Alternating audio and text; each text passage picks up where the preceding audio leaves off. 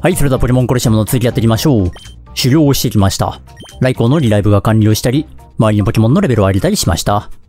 えー、リライブして思い出した技は雨乞いでしたね。雨乞い、あれなんだな、ダブルバトルですごい有効だからなのか、いろんなポケモンが思い出すんですよね。各いう大ダイルもね、雨乞い思い出しましたし、天候変化系はやっぱり強いってことなんでしょうかね。ブラッキーとかカポエラがだいぶレベル上がってるのがいい感じですね。ちょっと上げきれなかったエンテイ君に今、学習装置が持たせてある状態ですね。では、続きやってみましょう。さて、この子と対決するんだよな。この先もう一人、シャドウ幹部ボルグがいるんでしょうかね。俺をとしてここを通るとでも言うのか？言うよ。そんなことができるかどうかバトってみればすぐにわかるぜ。やたら自信満々だな。こういう強いシャドウ戦闘員は将来の幹部候補だったりするのかな？でもそういうやつが、この将来的にね、幹部になるときってどういう変遷をたどるんでしょうかね？なんというか、急になんかおしゃれに目覚め始めたりするんでしょうかね？デリちゃんまさかのデリちゃん来たか。えー、雨乞いで倒しそうだし、なんなら雷で倒そうかと思ってたんだけど、スパークでも倒しそうだな。いや、間違いなく倒れるだろうな、これ。電光石火。ライコーの方が遅いかな。高校、高校雨乞いで威力を上げることなく、あー、行きたかったんだけど、これ1.5倍になるな。これバトル山でデリバードと戦ってて、大体のやつが雨乞い波乗りでワンパンできてたから、先手で雨乞い使ったらダメな気がすんな。じゃあ、電光石火、イノムー、グルル、波乗りで。ライコーレベル上がってこんなに速くなったんだな。まあ、元の素早さが、オーダイルとライコーではだいぶ差があるからな。レベルの差が10以上あるのに、追い抜いてしまいましたね。イノムーは抜群なんでさすがに倒せます。問題は、デリバードだよな。でも早く捕まえないと、仮に耐えてくれたとして、あオーケー、やっぶね全体技がどんどん使えなくなるから困るんだよな。鬼氷。鬼氷を見るとちょっと、ヒュッてなるな。デリちゃん、こう外していく。うーん、単体攻撃だから、雷鬼氷で。オーダイルは、ボール投げるか。プレミアボール。デリバードプレミアボール入ってくんねえかなめっちゃ似合うよな、白と赤だし。モンスターボールより白の割合が多い感じが、デリバードに似合うと思うんだけどな。そうは思わんかね。気に入ってくれるだろ何？お前、俺のプレミアボールに入れないっていうのか。まったくもって、とんでもねえやつだぜ。あと、ライコーくん、タイプ1雷めちゃくちゃ強いから、大体の、大体のポケモン、あれですね、半減とか取られない限りは、ワンパンしてくれるからすごい、なんというか信頼感がありますね。ライコー、結構痛いよ。デリバードの体力的に反動大丈夫かなと思ったけど、まだ大丈夫そうです。では、プレミアボールを投げさせてもらうね。眠りにする技を持ってる子を連れてきてないんだよな。なんかダークポケモンゲットするってこと全然考えてないんだけど今。別にいいかな、みたいな。カポエラにしとこう。威嚇入れて、少しでもダークラッシュの反動ダメージを抑えるようにしようか。デリバードがそんなこと気にしてるとは思えないけどな。つっかまれ、はい、つっかまれ、はい、デリバード、デリバード、つっかまえろ。にゃーん。いけると思ったのにな。これは反動で勝手に落ちそうだな。ヒーン。プレゼント？違うな。お、いいね。これもしかして張り切りか？張り切ってんね。で、プレミアボールなくなりそうなんですけど。大事な大事なプレミアボールが、なくなっちゃうのかい？追加してくるかな？お金はまだあるだろうしな。これで捕まってくれれば問題ないんだけどな。ああ。まあ、仕方がないな、デリバード。君はハイパーボールに入るの敬意するよ。君はこれからハイパーボールにゲットされる運命になるんだ。ああお前さんますかボールは狙いが定まらないパターンかいこれ。え？定まる？もしかして。スナッチボール投げられるの？あ、投げられちゃったよ。当たんのこれ。あ、当たっちゃったよ。えー、空を飛ぶ強制解除？これ出てきたら空飛ぶの攻撃継続してんのかな？あ、入れちゃったえー？ポケモンコラシャムってそうなの ?XD もこんな仕様あったっけ？空を飛ぶ使ってくるダークポケモンがいた記憶ないからな。そもそもよくわからないんだけど。へえ、知らなかった。必中なんだ。空飛んでるところに突然スナッチボール飛んできて叩き落とされたら、ポケモンもびっくりすると思うけどな。何が起こったんだ？みたいな。お、そしてこれ ID はめ込むところ、やっぱり一箇所足りてませんね。青色かな残りは。ボルグがこの隣にいるんでしょう。いりましょう。でもさっきの今日で、また戦いに挑むとは、ちょっと負け濃厚な感じで、向こうとしても気が乗らないんじゃないのかなうん、でもこの人以外な、いないもんな。幹部というか、強いクラスの敵。しゃあね、やったろうか。おう、二人仲良くのこのことお手手繋いでやってきたか。手は繋いでないでしょうが。もっと清い関係だよ、こっちは。そんなピクニック気分じゃ俺に勝つことはできないぜ。前も同じような感じで勝ったと思うんですけどね、もう忘れてらっしゃるのか。メンツが全然ちげえ。ライボルトとクロバット。うん、でも雨展開は相変わらずしてきそうな、面々ではあるな。クワーン。クロバットか。雨りで倒せないかな。まあ、どうせ向こうも雨使ってきそうだし。雨乞いりで行くよ。ライボルト結構速いイメージあったけど。あおえ、ライコーとオーダイルってさあそんなにないはずなんだけどな。この絶妙に間に挟まってんの。やってくりやがるぜ。来光より遅く、クルールよりも早い。そんなライボルトくんよろしくね。でもなんで独特なんだろうな？うーん、クロバット届かないか。独特だ。めっちゃ独特をしてくるぞ。一体何が狙いなんだ？ちょっと不気味だな。ライボルト。まあ、これだったら雷で倒せそうですね。で、後から出てきたやつに波乗りで。チュドーン。ていうか、このクロバット遅くね？ライボルトより遅いんだな。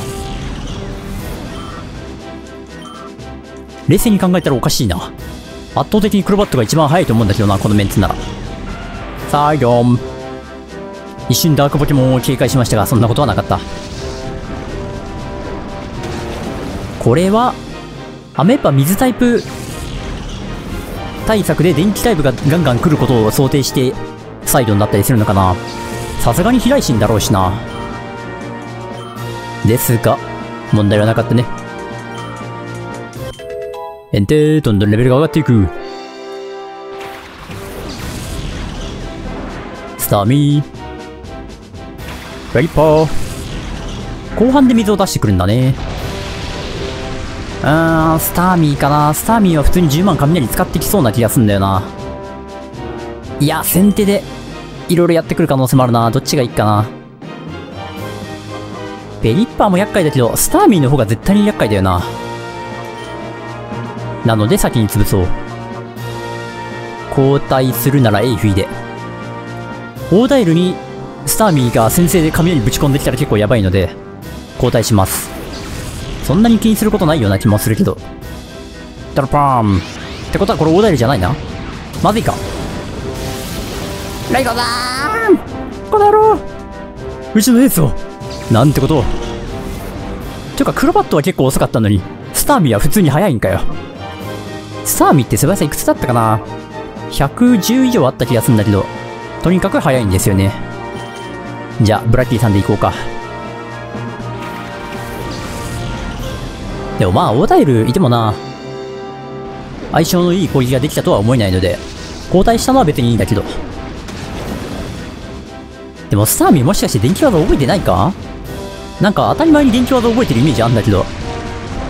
で、アメパっぽいから、雷も当然覚えさせてるんだろうなとは思ってたんだけど、違うのか？もしかして。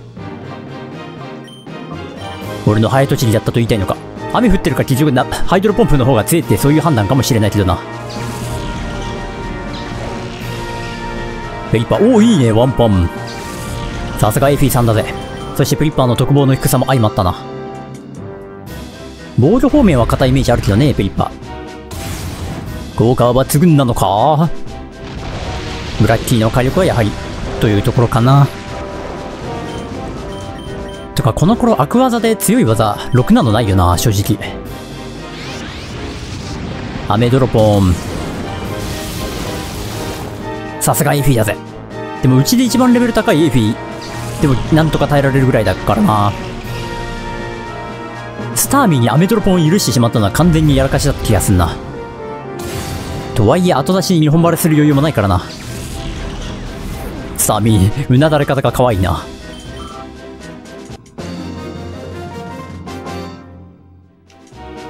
ぬぬ前より腕を上げてきたか。それはこっちのセリフなんだよな。いつの間にこんなにレベリングしたんだ。まあ俺もバトル山行ってたからな。実はボルグも、俺と戦っていない間ちょっとバトルタワーを抜け出して、バトル山で終了してたのかもしんねえな。敵にしておくには惜しいやつだぜ。さあこれを使って扉を開けるがいい。でも案外気前よくくれるもんだな。扉の先には何が待っているのか、お前のその目で確かめるがいい。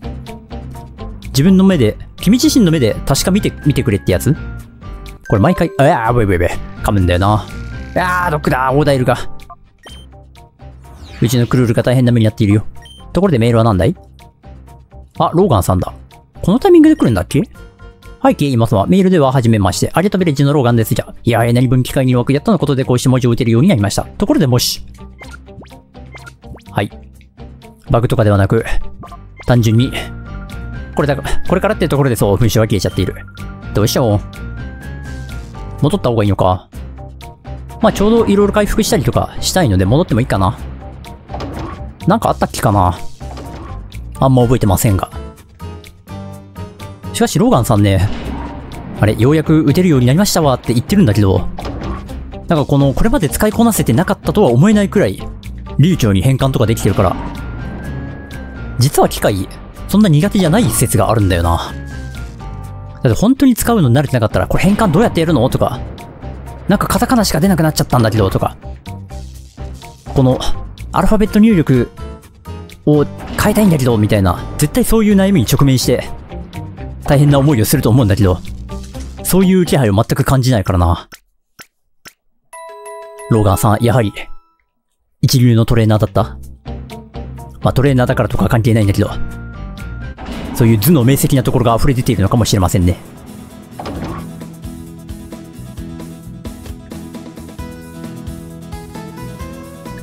では、アゲートビレッジ一旦戻ってみましょう。なんかあったかね？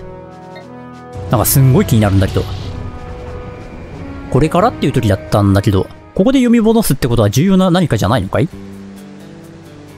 扉開けてそのまま進めてたら、いやー、アギトビレッジのローガンさんに会いに行かないと、この先お話進まないんだよ、みたいなのが、あるんだろうか。なんか呼ばれたら気になるから毎回言ってたと思うし、ここで見ないという選択肢は取ったことないと思うけどな。まあ一応行こうか。ちゃんとわしのメールが届いたじゃろう。あれじゃなんだかわからないよ。ありゃそうじゃったか。まあこうして話した方が早いかもしれんな。それは俺も思うよ。渡したいものが、え、ま、ま、まさかこれか？マサーボールを手に入れたかもしれない。やったー。まあ、こういう大事な場面で最終局面でくれるものってマスターボールってね、相場は決まってんだよ。さあ、今くんフライを行くがよい。世界の平和を脅かす悪の組織など吹き飛ばすのじゃ。ありがとう。ありがとうなんだけど、え、マスターボール使いたい相手っていたっけ？覚えてねえなこれ、ラスボス戦でもめっちゃ強いダークポケモンがいたこと自体は覚えてんだけど、多分バニラスとかじゃないのか？第2世代で強いポケモンって言ったらバンリラスぐらいだろうしな。ルリアはいないんですよ、このゲーム、確か。ポケモン XD、闇の風ダークルリアっていうゲームが別で出てますからね、これの後に。で、そっちでね、ちゃんとダークルリアをゲットできるんですから、これでね、実はこっちにもダークルリアいたんですよって、ならんでしょ。俺が覚えてないだけなんだよね、みたいな。ないと思います。となると、ルリアではない。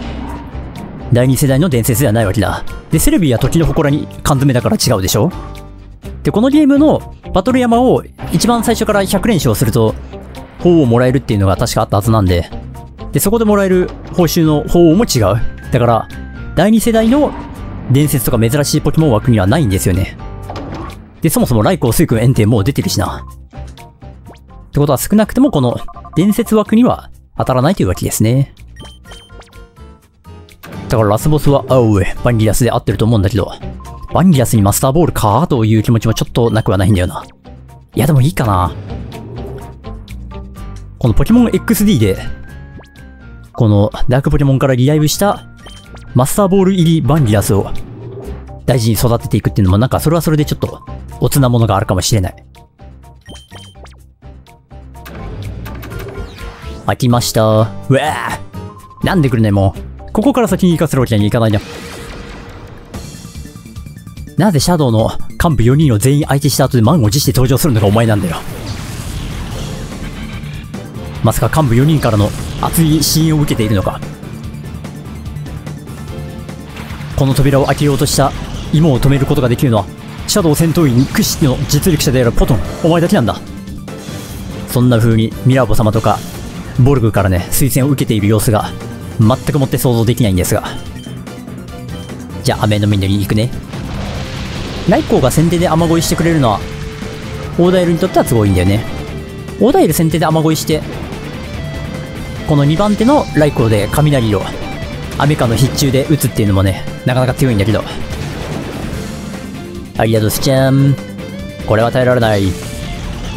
逆にちゃんと耐えてくる雨モース何なんだろうな。これバトル山でも雨モース相手してるんだけど、やたら硬いというか、大体耐えてくるんだよな。不思議でなりませんわ。お、切ったーマジでヘラクロスいるんだ。ダークヘラクロスだよ。ネットボールいるからな。なんとでもなりそうではある。今や懐かしい水遊びだ。雨か水遊びだと、炎の威力って4分の1になるのかな？などという疑問が。あー、ちょっと待って、これヘラクロス、ヘラクロススパークでやっておいて、クルール赤みつくで。これでいい感じに削ってかつ麻痺してくれたら最高。まあまあまあまあまあ。まひる、まひる。まひらない。でも麻痺したら根性を発動する可能性もあるのか。悩ましいな。でもヘラクロスは強いよな。ポケモンコロシアムの中でゲットできる格闘枠では最強かもしんないよね。瓦は覚えてる。いいなトリプルキックと交換しようぜ。技マシンあるんだけど、一回きりだから使うのもったいなくて使えてないんですよね。うちのカポエラーはトリプルキックで頑張ってるんだ。クルーは、まあ一旦お茶を濁す感じでネットボール投げておこう。間違えてもマスターボールをヘラクロスに投げる予定はないんで、気をつけようね。ネットボール。捕まえやすさ重視ではあるけど、ルビーサファイアにもヘラクロス自体は登場したよな。ああ、ええー、いけちゃうんかい。倍率めっちゃ上がってんな、これ。でも確かサファイゾーンだった気がするから、このネットボール入りのヘラクロスは珍しかったはず。こんなに強いなんて。でしょ。いいでしょ。さて、なんとか突破しましたが、この先なんか広いエントランスみたいなのがあるんじゃなかったっけ？うわい。また来たよ。これどうせローガンさんでしょ？間違えた。スナッチリスト。おう。とかそうか、スナッチリストでこれ大体見られるのか。え、もう解析終わってんだな。ありがたいで。ん？ライダーのアサナ。パイラの洞窟発見。しかし、スナッチは失敗した。ああ、そうか、これ。スナッチして、でもリライブが完了しないからこの色なのか。ぐらいが脅しし、この辺はミスったところだな。でもそれ以外は大体捕まえてるから、結構頑張ってんな。ゲットできなかったのは今んとこ4体かな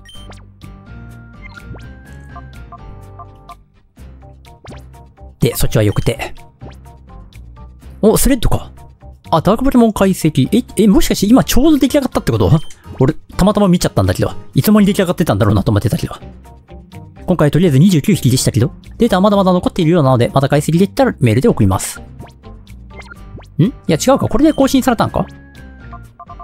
ギブブブブブブブブああ、ちょっとだけ更新され、えー、メタクロスあるやんけ。情報なし。あれ？ってことはバンリアスじゃなくてメタクロスだったっけ？まあ確かにメタメタクロスもいたような気がするなぐらいの、ふわっとした記憶は実際あったんだけど。やったわね、これで、ダークポケモン、ちょっとわかりやすくなったよ。とはいえまあ、他にね、ダークポケモンじゃないメタクロスを使ってくるトレーナーもいるでしょうから。そういう意味ではこのフライのね、出番はまだなくならないでしょうね。このタワーがオープンしてからあなたがちょうど1000人目のお客様です。嘘言え。こんなアクセスの悪いタワーに1000人も来てるわけないだろ。なんてな、今日からオープンなんだからそんなわけないだろ。わかってますとも。なんでそんな謎の冗談言ってくるんだ。この花のところ、あれ？弱いぞでもまあ、シャドウの戦闘員より強いザコトレーナーがこの辺でたむろしててもおかしいか。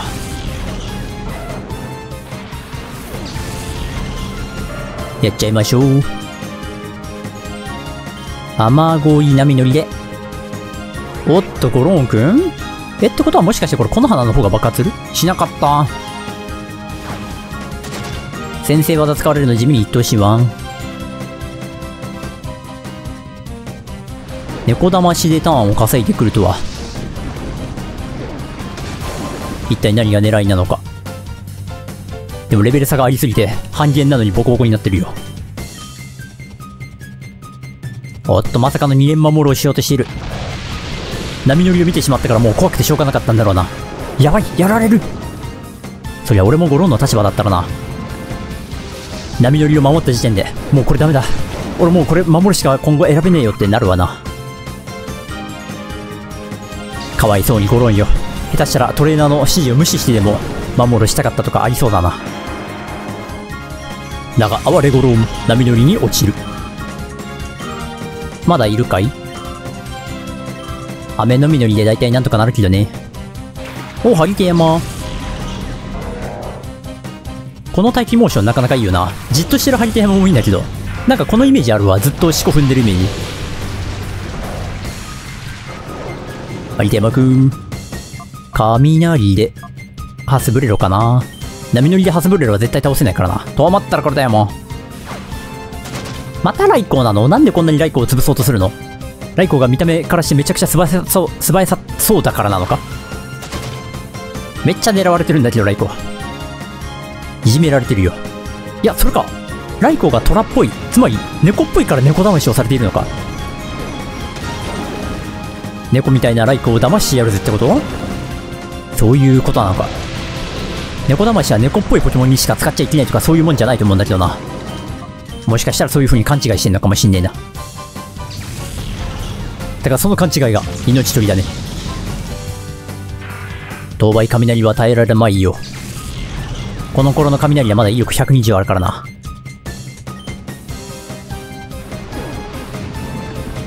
ザバーン。有田山さん。有田山さんもな、もうちょっとだけ硬かったらな、と思わなくはない。え、今でも十分体力の多さからカバーできてる部分もあるんだろうけどね。ちょっと嘘ついたからって向きになるなよ。無理になってないです。千人目とか言われて、ほん、ちょっと嬉しかったろ？そうかな。君も千人目だよって言われたら嬉しいのかい？んとかいっぱいいるけど、この人は何なんだろうな。なんか堂々と座ってるけど、受付で雇われてる人なのか。で、右か左が確か、あれなんだよ。回復ポイントがあったと思うんだよね。俺はせっかくだからこの右側の扉を選ぶぜ。いやー、なんか出てきた。何このおじさん。どうだ驚いたろう。お前たちが来るのをドアの向こう側でずーっと待っていたのだ。この野郎。まさか回復ポイントではなく、ティラノが待っているとはな。肉体派のティラノ。なかなか強そうな名前をしているが。でももうここまで強くしたら、あとは波乗りと雷を打つだけだからな。悩むことはない。ああ、でも2体だけだからか、ちょっとレベル高いね。やるじゃないのさあ、先生、雨乞いからの波乗りだ。ガンガンやっちゃってくださいよ、小平さん。決めてやるぜ。ドゴーム。まさかのワンパン、そこまで行くとは思わなかったけど。でも、プクリンはちょっと硬いかな。やるね。ハイパーボイス。普通にタイプ1で威力も高いし。あおお、でも耐えるんかい。あ、ハイパーボイスってダブルだと範囲だったっけ？ハイパーボイスをダブルバトルで使われているところあんまり見た記憶がないんだよな。ダブルバトルをあんまり見ていないのがバレるっていうだけなんですが。レイコースパーク。はい。雷でもいいんですが、あんまり雷ばっかり使ってるとちょっと PP がね、不安なんで。この並びだいぶ強そうだな。くわびっくり。めちゃくちゃ強いじゃないか。自分がビビリだから、相手を驚かせたら困るだろうという風に思ってんだな。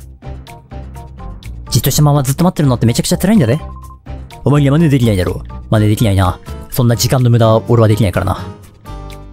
ところで回復ポイントはあれ？こっちじゃないのかで、このジュークボックスは何なんだ？意味深だけど。え？なんもないの？選べなかった。このジュークボックスがこの、てってれれれれれれれれみたいな音楽を鳴らしているものだと思っていたんだけど。そういうわけでもないらしい。じゃあちょっと通りますね。こっちも待機してそうだよな。あれ大丈夫だった。いろいろいますけど、あれ回復ポイントないじゃねえか。あると思ってたのによ、これ。え？見つかっちゃったお前、視線を感じるタイプだったのか？お前が元スナッチ団の芋か。バレてるし。前から一度戦ってみたいと思ってたんだ。噂通りのハイレベルなバトルを見せてもらおう。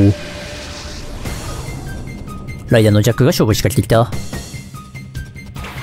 サンドパンとヌオ。ダークポケモンはいない。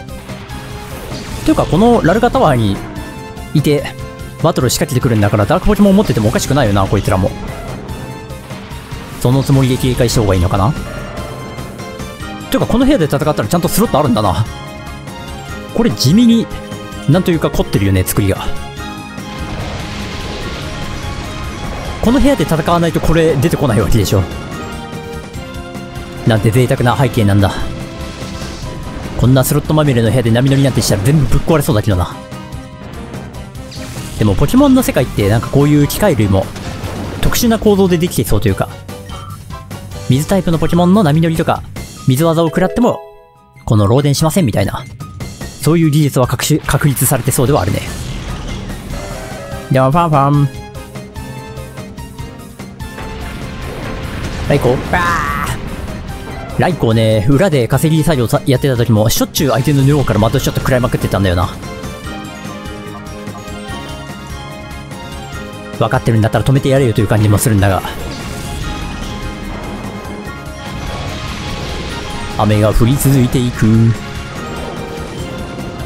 園庭は暇なんで、にやみつけるでもやっといてください。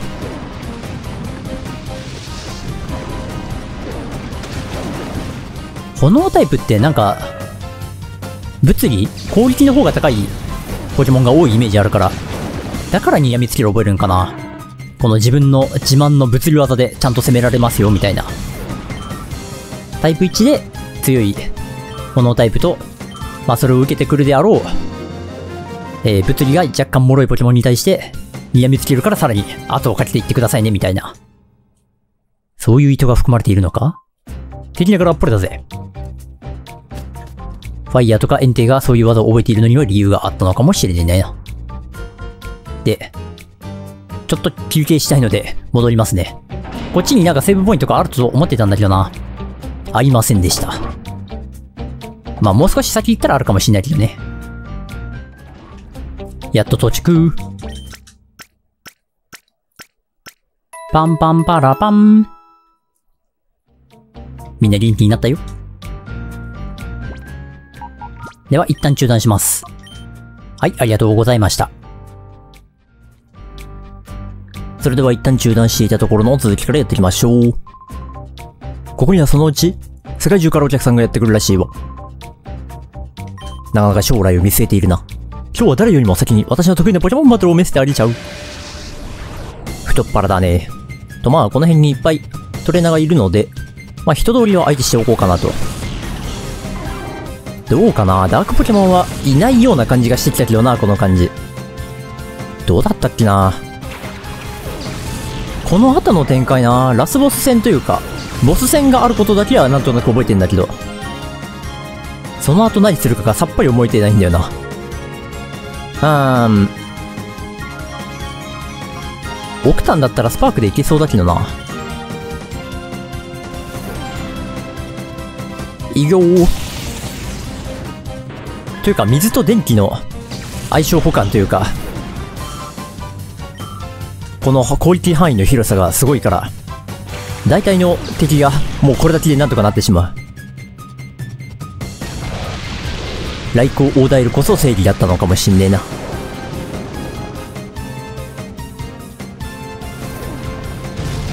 突進。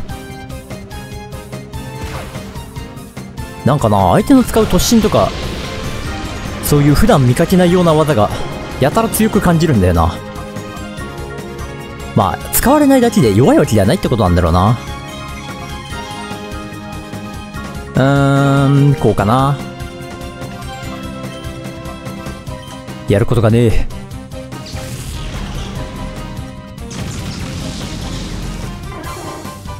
しかし水タイプ統一なんだな、こっちは。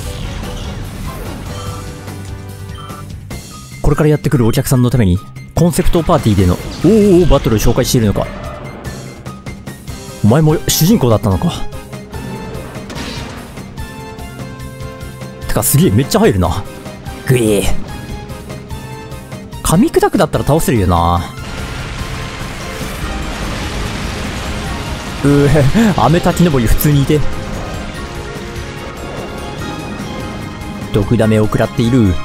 てかまた直しに戻らないといけないじゃないか、これ。やってくれやがるな。いやでも、俺が噛みついたのか。大台が毒になったのは、俺のせいだ。この辺回復施設な、ないかな、結局。一旦毒消しでお茶を濁しながら、この辺のトレーナー相手して、このすぐ先に回復施設ないか見ようか。いちいち戻るの大変なんだよな。そうは思わんかね、大通りに。有名になる前に負けちゃったわ。ここでまた、狩猟を積むチャンスができたと思えばいいんじゃないか。もっと腕を磨いてカリスマトレーナーになってみせるわ。なんか、すごい普通で、普通にいい子な感じするんだけどな、この子。なんでこんな得体の知れない場所に来てしまったんだろうか。誰かに騙されているのか。なんか、バトルで有名になれる場所があるよって言われて、よし、じゃあ私も行ってやるよみたいな感じで、無邪気な心で来てしまったのか。ん？ええー、よく見たらお前、シルバーだったの？そうなの？変装上手すぎない？こうして変装して潜り込んでいたんです。驚いたでしょ？そんなことより、シャドウのボスが最上階のコロシアムでお二人を待ち構えているとか。しかも最強のダークポケモンを持っているらしいですよ。くれぐれも気をつけて行ってくださいね。ん？え、もう最上階行くんだっけ？これ。ここ入ったらもう一個、なんか、フロアがあってそこで回復できるとかなかったっけ？うん。てか、この人は戦わない、それ、というか、シルバーさんだったんだね。なるほど。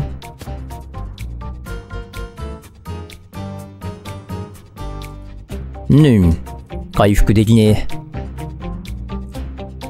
じゃあもうこのままボス直行だから、回復施設はなくていいよってことなのかな人によっては分かっている人は分かってるって場合よっていう人はこの雑魚トレーナーはささっと無視してここへ直通って感じかな？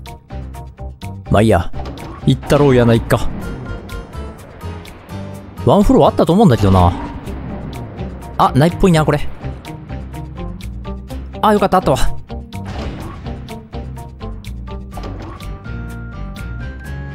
いるついにここまでやってきたか。ジャキラ様よ。ついに相まみえたか。一番最初にフェナスであったけどな。いや、見事なものだ。モくんフライ君歓迎しよう。ラルガタワーにようこそ。私の名はジャキラ。覚えているかね？合ってますとも覚えてますとも。とかは、あなたの方こそよく覚えてるよな。いや、やはり人の上に立つ人間というのはこういう、人との関わり合いというか、一期一会の出会いを大切にしたりするのかい？君とはいずれ戦うような気はしていたが、まさかここまで来てもらえるとは。さあ、もうすぐ始まるぞ。君たちの歓迎会がな。私は一足先に行って待つことにしよう。ジャキヤ様歩き方が意外と可愛いというか、ひょこひょこ歩くよね。あいつの後追うのよ。ということですね。で、もしかするとこれか？ここが回復施設なんか。あったよ。お前が何も、何で使っとんじゃお前。さあ、これでよっしゃ。俺様のポケモンちゃんはみんな元気になったぜ。てんてんてるリンってことか。これではチューマイさんと戦うことができるってもんだ。まあ、なりますよね。チェイサーのチャック。こういう、なんというか回復施設を使うために、一悶着あるっていうのはあるあるですから。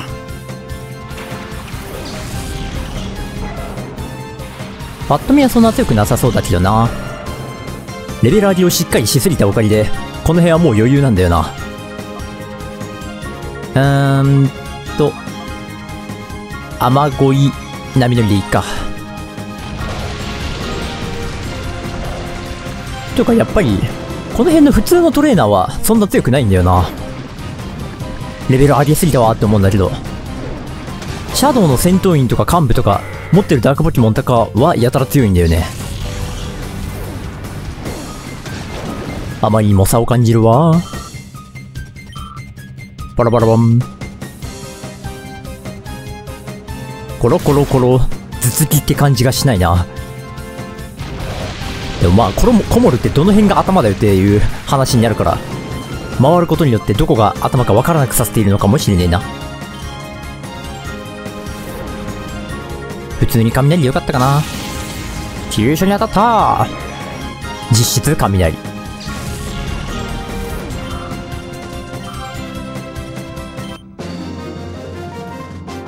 やはり普通の相手だったか。お前なんか嫌いだ手持ち2匹しかいないからな。もう回復は、切実、切実な問題だったんだろうけど。そんなところ邪魔して悪かったな。結構な最新部だと思うんだけど、なぜこんなところにいたんだろうな、あの、あいつは。あいつも結構な実力者だったってことなんだろうか。さあ、ではもうこのまま行っちゃいましょうかね。幹部はみんな倒してるし、また戦闘員がひょろって出てくる以外は、そんな大きな、なんというか一悶着ないと思うんだけどね。このままジャキヤ様とバトル直行いけるんじゃない？行っちゃいましょうよ。右側で、んああ、行っちゃったわ、どうしよう。あっちはもう一つのエレベーター。ああ、そういうこと？ぐー。このエレベーターは使用中です好きな。でもどうせこっち行ったら、いるんでしょ？え？そういうことじゃないの？乗れないの？あ、でも誰か降りてきた。いったー。え、お前ここで戦うんだったっけ？背景とミスマッチするようになきゃあんた。ぐわはは、久しぶりだな、も。まさか俺様のこの顔を忘れちまったって言うんじゃないだろうな。まあ一度見たら忘れられない顔はしてるけれど。その顔まさかスナッチだその顔。もう顔でスナッチか、スナッチ弾かどうか判断されてるよ。それはいいのか。まさかも減ってくるもねその通りだ、お嬢ちゃん。俺こそスナッチ弾のボス、エルゴンザ。というか、スナッチ弾がスナッチした他人のポケモンをダークポケモンにしてたんだったっけ？さっきはこの俺がなぜここにいるかって聞いたかい？そうよ。ここはシャドウの本拠地でしょ？シャドウのお膝元というか、この、なんていうの？関連組織なんじゃないのかい？ところがびっくり。関係大いなんだな、これが。普通に教えてくれるんだね。優しいよな、みんな。てか喋りたがりだよな。あのスナッチマシンをただの窃盗団だって俺たちによこしたのがシャドウ。ああ、そういうこと。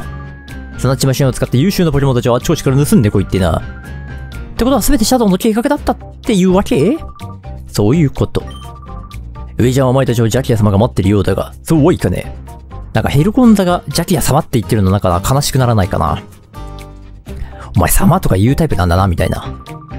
アジトを壊されスナッチ弾が壊滅された恨みを今ここで晴らしてやるぜ。この俺様を倒していけるなだと思うんだよ。ここを通りたければ俺様を倒していけ、え？ってことなんだろうけど。ヘルコンザさん、ビジム普通なの？なんだよ、ちょっとがっかりだよ。レベル高え。レベルは高いけど、なんで BGM 普通なんですか？かわいそうすぎじゃないか。せめてボス戦の音楽か。バトル山の強敵ぐらいの BGM ぐらいは流してあげていいのにな。でーん、ででででんてんてん。ででででんででででるるるるるるっていうやつが流れて欲しかったんだけどな。これもうゲーム的にも前座というか、雑魚的扱いだから、この BGM でええやろってこと？ヘルゴンダがちょっと不憫でならんな。てか、ポケモンコロシアムのヘルゴンダってこんな扱いだったっけ？急所やめて。あの、毒にはならなかったけど、お前。はいじゃーんお前なんてこと？シザリがもろともこれが窃盗団、砂地団のやり方だというのか。ギリギリ耐えることを想定していた？やってくれるじゃないの。あーんと。じゃあ、ここはエイフィで行こうか。さすがにヘルゴンザ、ダークポケモン1匹ぐらい持ってると思うんだよな。となると、周りをいかに減らしていけるかっていうのが大事になるはず。ちなみにシザリガは適応力となんだっけな。スイスイはないよな。まさかのスイスイ、シザリガ。ないない。さすがの素早さ、エイフィーさんで、相手魔を先に倒す。自信なんてする悪い子はお仕置きだよ。相手山、攻撃力は普通にめっちゃ高いんだよな。めっちゃってことではないんだけど。でもこの統治基準で考えたら相当レベルにはあったと思うから。侮れない火力で殴られてしまったというわけだ。でもどうだろうな。ヘドロ爆弾、急所じゃなかったらまだワンチャン耐えたと思うんだけどな。ぐー。ああ。シザリガのやられて丸々の可愛いよね。いいと思います、ああいうの。でるるるん。まあ、エビ感が強いっていうのはあるけどな。カイロス。また珍しい。一瞬、おってなったけど、違うんだな。エーフィ、手助けしちゃうよ手助け波乗りで、カイロスワンパンいけないかな。ダーテング、ダーテングってなんか、そんな強い草技覚えたっけななんか不憫なポケモンは、技が貧弱っていうイメージがな、常にあるから。ダーテング。なんだったかな頑張ってこの花の間に神通力を覚えさせようって頑張った記憶があるんだけど。エアームド。あれ？レベルちょっと低くない？もしかして？お前かヘルゴンザさん、なんでエアームドなの？いやまあ強いし、エアームドじゃ格が足らんよなとまでは言うつもりないんだけど。シャドボいてなのだがですよ。特防下がっちゃったん。エアームドさんか。波乗りで倒さないよな、多分。雨の日差しで行こうか。いや、ちょっと待って。手だ、うーん、波乗りしちゃおう。手助け波乗りしちゃおう。あ、でもレベルちょっと低かったな。しまったな。手助け波乗りで倒されないんだったらこれでいいよなと思ったんだけど。エアームと特防高いわけじゃないし、やっちゃったかな、これ。耐えろ。急所ではない。うわーあ、でもこれ、ダークラッシュ来たら死ぬんじゃね？エアムトさんいや、ダーテング手助け波乗りじゃないとギリギリ倒せないかなと思ったから、やったんですが。鋼の翼外れていく。危ないね。これはあえて、他の行動はしない方がいいかな。ダークラッシュをこいつが、気まぐれで使ったら、いいのか、ダークラッシュするぞみたいなことされたら、もう大変なことになる。ここは、パッと決めてしまいまし、決めてしまいましょう。と思ったけどどうだ？エアムドはボルこだった方がいいか？タイマーボールの方がかっこいいとかあるか？ハイパー、モンスター、スーパー。エアームとこのボールに入ってた方がいいよね、選手権ある。スーパーボールは、スーパーボールは個人的にはありだと思うんだけどな。あの、金銀のエアムドの出てくる草むらのあたりってスーパーボールでなんとかしようってするあたりだと思うんだよな。まあ、ハイパーボールあのあたりでもう買ってると思うけど。タイマーボールとかもありだと思うんだけど。今使っても効果上がってないだろうしな。それよりそもそも今ここで捕まえられるかどうかの方が大事なような気がするので、やっぱりハイパーで。で、クルールは呼びかけるで。体力はもうギリギリだけど、捕まらない可能性もあるからな。おしゃぼにこだわってたら、ダークラッシュで採用習ってか可能性も全然あるよな。ああ嘘でしょ、エマウト、エアマウトさん決めますか捕まりにくいやつ？クルル聞こえていない。毎度思うけど聞こえてはいるよな。ぐえー。エフィさん。大変なことになっちゃうわ。でも雨が止んだ。ちょうどいいというところだね。なぜなら、朝の日差しでエフィが回復しながら、ハイパーボールでヘルゴンダさんにボールをドーンすることができるからだ。エアムドって捕まえにくいんだっけか。それか状態上じゃないと捕まえやすさそんな跳ね上がらないってことかな。ぐー。もしくはハイパーボールが嫌いなのか。ポケモンごとに好きなボール嫌いなボールぐらいあってもおかしくないからな。あーエアームドあまりにもハイパーボールが嫌すぎて、自ら命を。悪くないと思うんだけどな、ハイパーボール。なんか巷で言われてるほどダサくないと思うんだけどな。なんていうか、ダサいダサい、ダサくないじゃなくて、この何にでもハイパーボールを、お使うことの、なんか浅はかさみたいなものが非難されてる印象だから、ハイパーボールは。あー、ハイドロポンプで覚えさせてもよかったかな。噛みつく使わねえからハイパー、ハイドロポンプにしときゃよかった。今更遅い。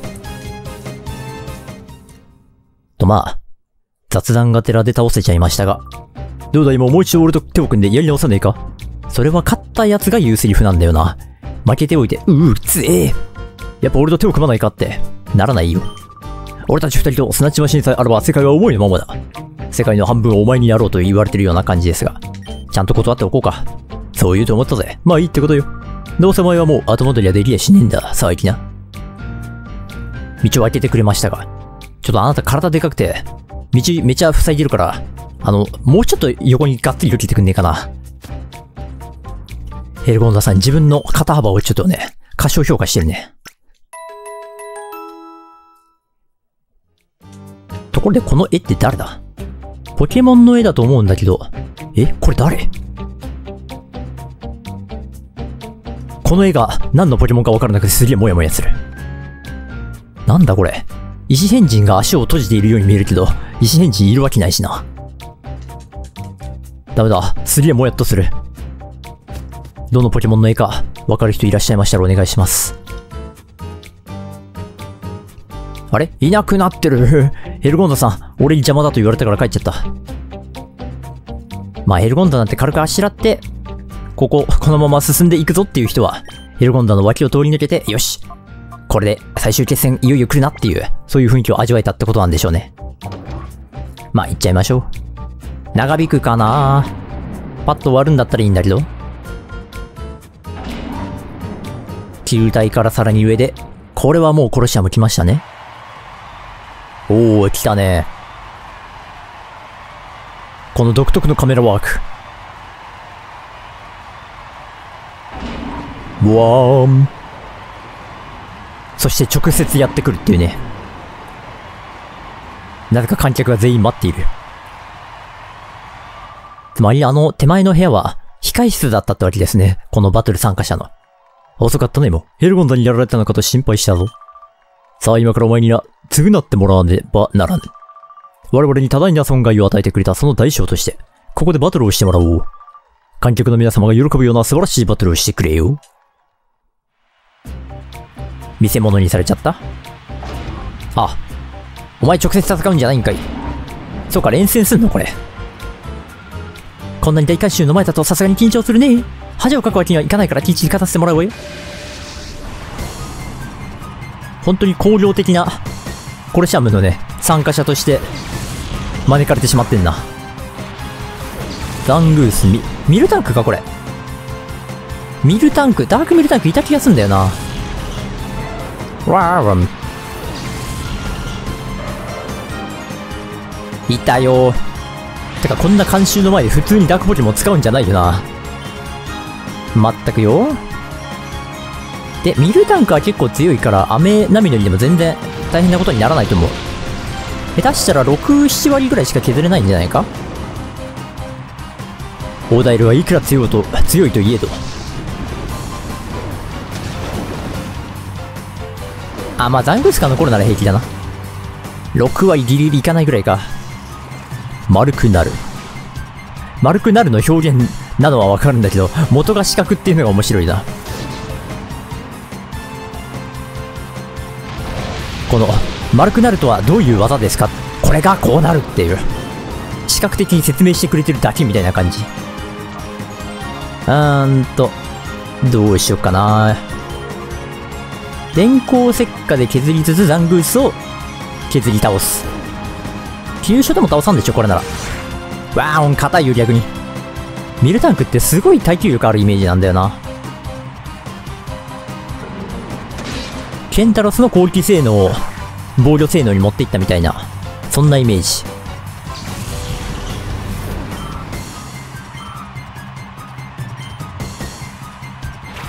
ボリツプレッシャーやめて。プレッシャーポリツーとか地味に嫌だな。この頃は進化の奇跡ないからいいんですけど。進化の奇跡ないポリゴン2って、普通にキングドラぐらいだよな、硬さ。そういう意味では大したことないと思うんだけど。あー、まあ、とりあえず先にやりとくか。ミルタンクさん、ハイパーボールの時間ですよ。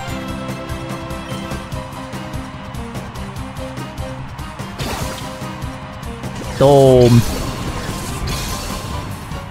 これで捕まってくれれば楽なんだけどな。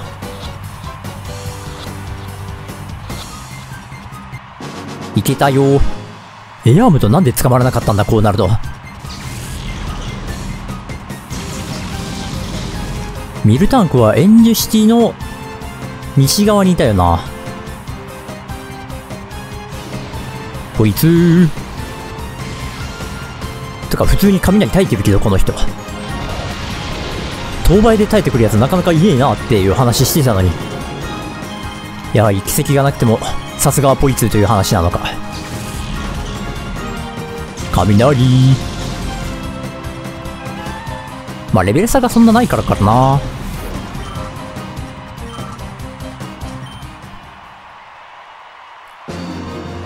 一戦目は完了。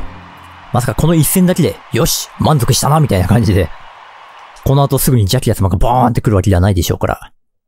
あと何回かやるんでしょうけど、さすがに回復はしてくれるよな。回復をさせずに一方的に殴り倒そうなんて。そんなの考慮としてどうなのってなりますよね。次は俺の番だ。